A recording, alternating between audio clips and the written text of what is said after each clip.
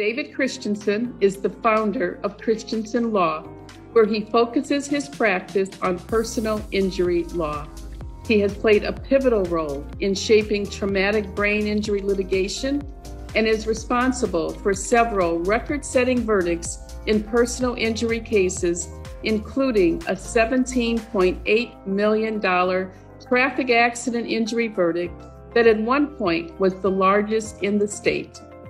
Outside of the office, David has worked on the reform of the civil discovery court rules and previously served for two years as the chairperson of the board of Help Source, Washtenaw County's largest social service agency. Congratulations to David Christensen. Thank you. Thank you.